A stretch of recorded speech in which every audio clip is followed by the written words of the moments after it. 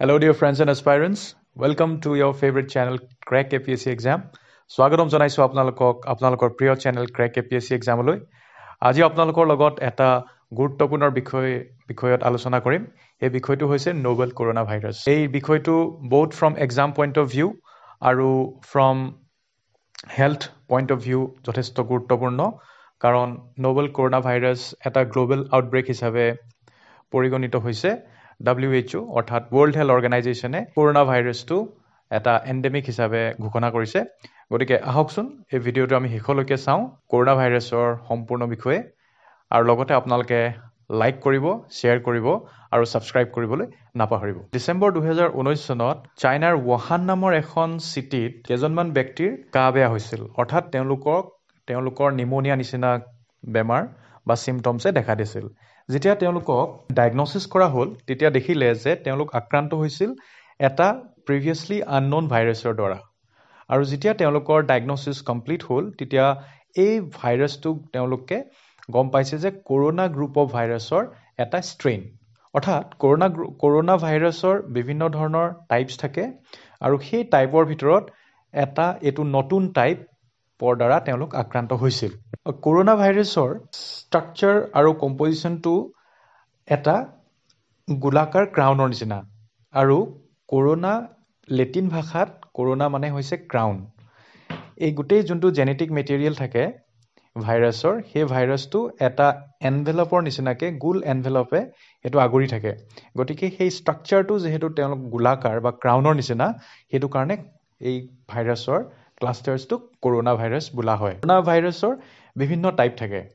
যেনে আপোনালোকৰ নিশ্চয় মনত আছে চিভিয়াৰ একিউট ৰেচপিৰেটৰী চিণ্ড্ৰাম নামৰ এটা বেমাৰ ওলাইছিল in China two thousand three এইটো এটা মহামাৰী ৰূপ লৈছিল বিভিন্ন বিভিন্ন জেগাত এইটো স্প্ৰেড হৈছিল আৰু বহুত মানুহৰ মৃত্যু হৈছিল। তাৰ পাছত আৰু এটা আছে Middle East respiratory syndrome C O' V অৰ্থাৎ Middle East respiratory syndrome corona virus এইটো প্ৰথমতে দেখা দিছিল চৌদি আৰবত দুহেজাৰ বাৰ চনত।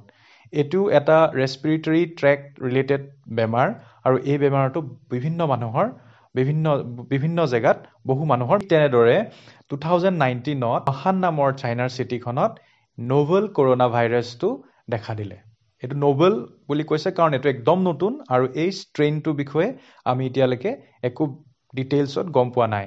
আৰু যিহেতু এইটো একেবাৰে নতুন গতিকে ইয়াৰ এগেইনষ্টত কোনো ভেকচিন ওলোৱা নাই কোনো মেডিকেশ্যন ওলোৱা নাই গতিকে ইট ইজ ভেৰি ডেঞ্জাৰাছ এটা হৈছে আপোনাৰ ৰেচপিৰি ট্ৰেকত ইনফেক্ট কৰিব পাৰে আৰু এটা হৈছে গেষ্ট্ৰ' ইণ্টেষ্টাইনেল ট্ৰেকত আমাৰ ইনফেকশ্যন হ'ব পাৰে।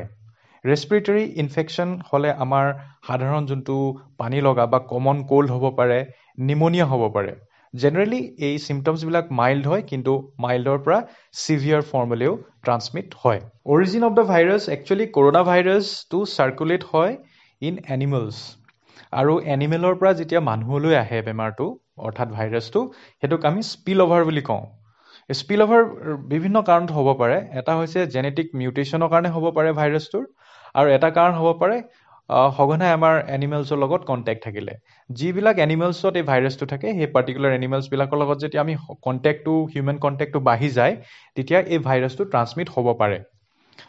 যোনটো চৌদি আৰবীয় আৰব আৰবিয়াত হৈছিল ইন টু থাউজেণ্ড টুৱেল্ভ সেইটো হৈছিল আমাৰ কেমেলৰ পৰা মানুহলৈ আহিছিল। অৰ্থাৎ উটৰ পৰা মানুহলৈ সেইটো সংক্ৰা ট্ৰান্সমিট হৈছিল। আৰু যোনটো চাৰ্চ হৈছিল severe acute respiratory syndrome in China এইটো হৈছিল আমাৰ মেকুৰী জাতীয় এটা জন্তুৰ পৰা।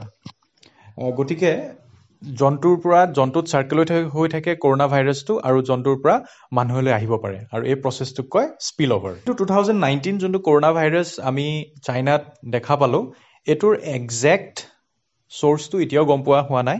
কিন্তু এইটো ষ্টাডিয়ে এইটো এতিয়ালৈকে ৰিভিল কৰা নাই। কিন্তু মানুহে সন্দেহ কৰিছে যে এইটো চি ফুড বা লাইভ এনিমেল এনিমেলছৰ পৰা যোনখন ৱাহানত আছে তাৰ পৰা মানুহলৈ আহিছে। এতিয়া ভাইৰাছটো ট্ৰান্সমিট কেনেকৈ হ'ব পাৰে? ভাইৰাছটো ট্ৰান্সমিট দুই ধৰণে হয় বেচিকেলি এটা ধৰ প্ৰথমটো ধৰণ হৈছে আমাৰ যিজন ব্যক্তি সংক্ৰামিত হৈ আছে সেই সংক্ৰা সেই সংক্ৰামিত ব্যক্তিজনে যদি হাঁচিয়াই বা কাহে বা পানী যোনটো আমাৰ নাঙৰ নাকৰ পৰা যোনটো হেঙুন বয় সেই হেঙুনৰ বা সংক্ৰামিত বস্তুখিনিৰ লগত যদি আমাৰ কণ্টেক্টত আহোঁ তেতিয়া এটা কাৰণত হ'ব পাৰে।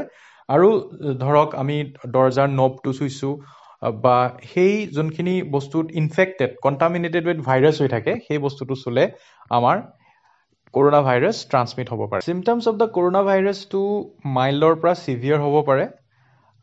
Mild fever cough shortness of breath এই তেনেকুৱা ধৰণৰ ৰেচপিৰেটৰী যোনখিনি আমাৰ কমন প্ৰব্লেম সেইখিনি দেখা দিব পাৰে।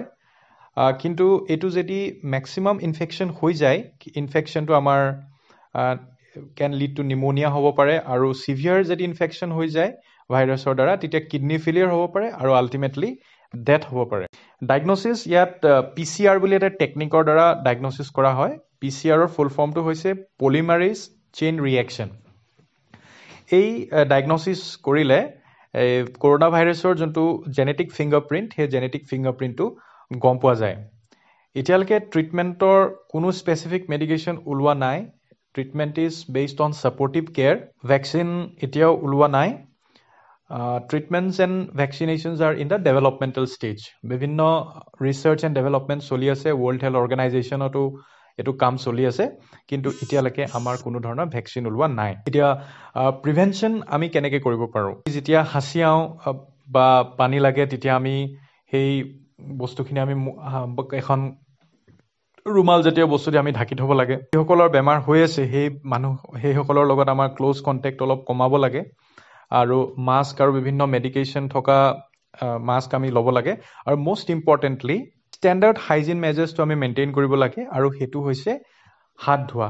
Hand ৱাশ্বিংটো very important to prevent us from the spread of the corona virus or novel corona virus unnecessary এনিমেলছৰ লগত কণ্টেক্টটো কমাই দিব লাগে আৰু যদি কণ্টেক্ট কৰাও যায় হাতখন আমি ধোৱাৰ ব্যৱস্থা কৰিব লাগে।